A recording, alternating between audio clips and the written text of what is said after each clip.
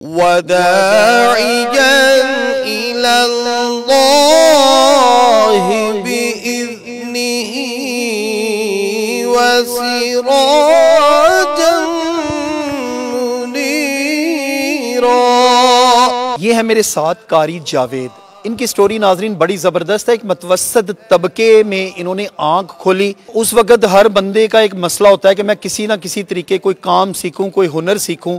تاکہ آگے فیوچر میں جا کے اپنا رزق حلال کما سکوں۔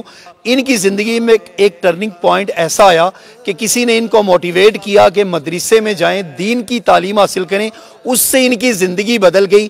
آگے کیا سٹوری ہے، یہی سنائیں گے۔ میں تو برا ہوں، لیکن میری لاج ہے کس کے ہاتھ نہ پوچھو یہ سب تمہارا۔ السلام علیکم قاری صاحب۔ وعلیکم السلام ورحمۃ اللہ۔ تھوڑی سی اپنی کوئی سٹوری کے بارے میں بتائیں کہ یہاں آج آپ کے پیچھے ماشاءاللہ نمازیوں کا ایک جمع غفیر ہوتا ہے آپ کی مسجد میں بھی۔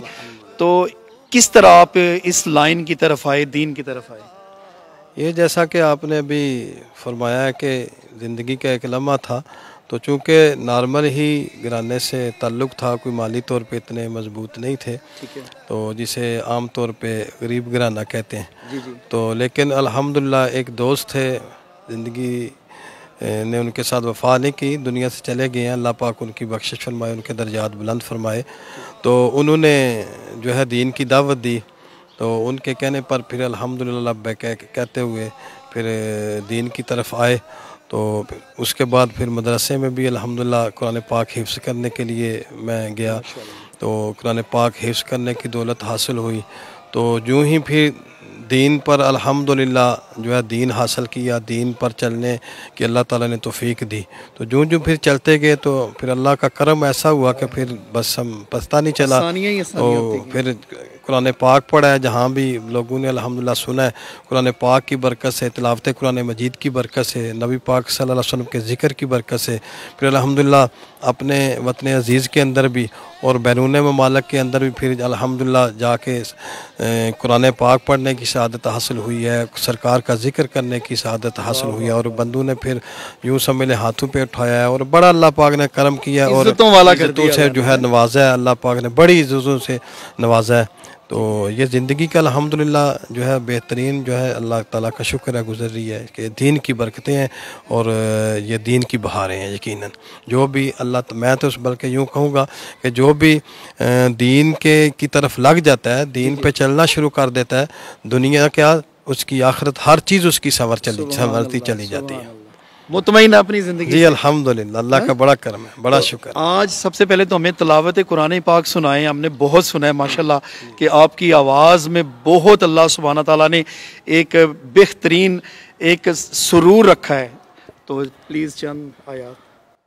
اعوذ باللہ من الشیطان الرجیم۔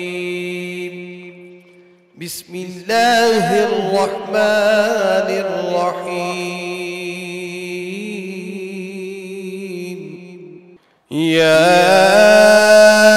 أيها النبي إنا أرسلناك شاهدا ومبشرا ونذيرا.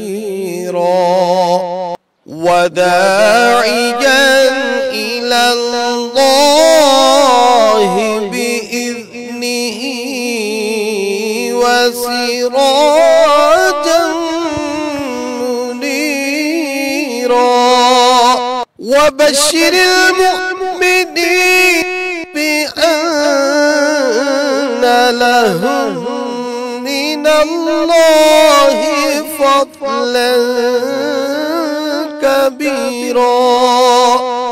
صدق الله العظيم. عرفان بھائی، حقیقت تو یہ ہے کہ ہم جیسوں کو تو کوئی پاس بٹھانے کے لیے تیار نہیں تھا، ہمیں تو کوئی پوچھتا نہیں تھا۔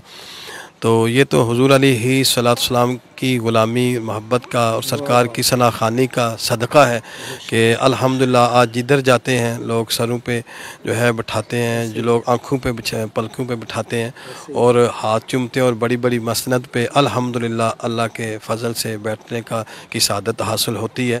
آپ سا دونوں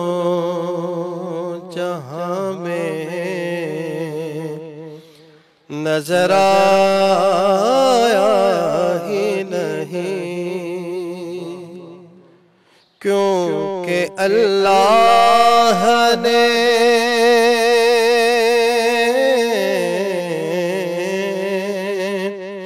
کیونکہ اللہ نے کوئی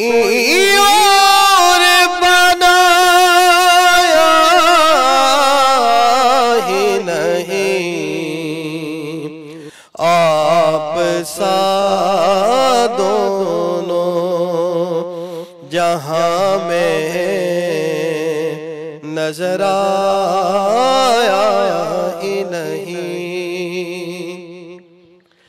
آپ نے جب سے نوازا ہے یا رسول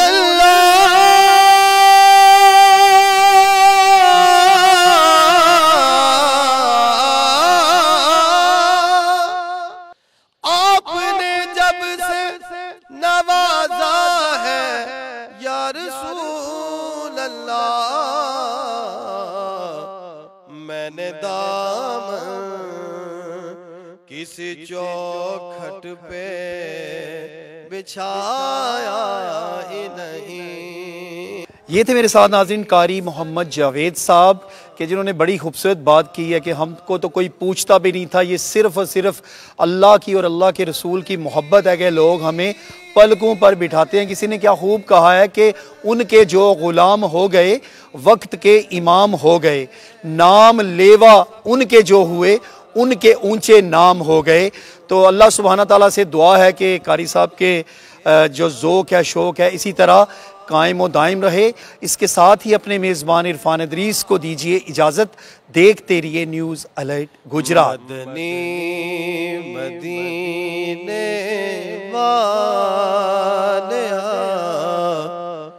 کوئی سونا نہیں تیرے نال دا۔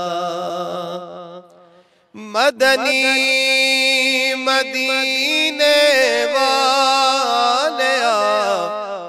کوئی سونا نہیں تیرے نال دا مدنی مدینے والیا کوئی سونا نہیں تیرے نال دا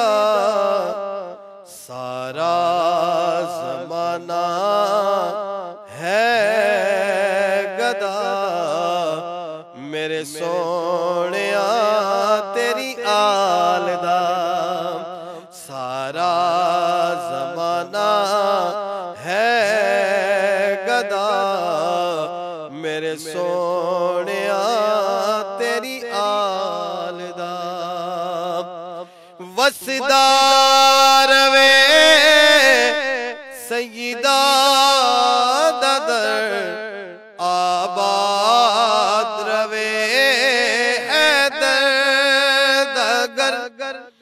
وسدار وے سیدہ ددر آباد روے حیدر دگر ایویں نہیں کوئی لجپال دا جویں اے گرانا پال